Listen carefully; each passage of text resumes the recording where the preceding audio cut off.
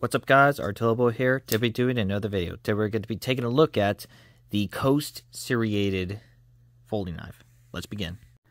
So, as you definitely know from this, this is a lockback knife, which this is the lockback folding knife. So, and that's how you basically open the piece out there with this, uh, rather this rounded area right here the best part about it, you can actually can switch switch it to another area for the left-handed. Of course, this thing is basically have supposedly have black all over this, but I guess the kind of get rubbed out out there. It's the uh, Serrated. There's the company Coast Port Oregon. Stainless Taiwan. Da dang, my social credits is pretty low on that one.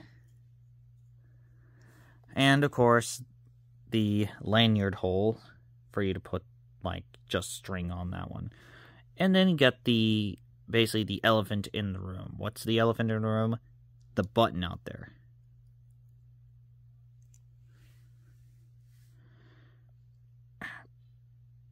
Yeah, it's light up out there.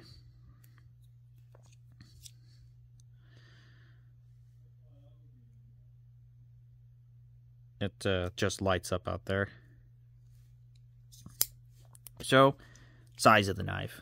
So, size on this, basically the Syrian knife, basically is like almost two, but it's like, like just one and a quarter, or, you know I'm talking about right there. if I can focus, uh, there is.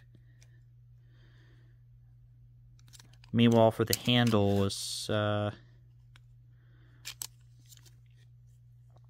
like two and a half inch, I guess, like almost a three. Meanwhile, the overall size is four and a half. You can see right here. And yes, the this thing's tip broke off. It wasn't me. It just was uh, when I got it. It was like broken off tip up there.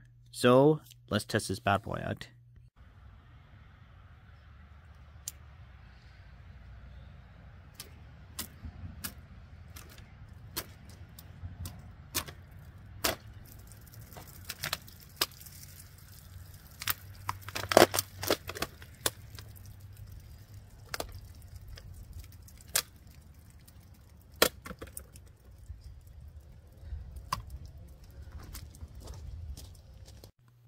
So results on this one is not good. I mean, got some of it actually cuts through the bottle, which it's not that really sharp out there, which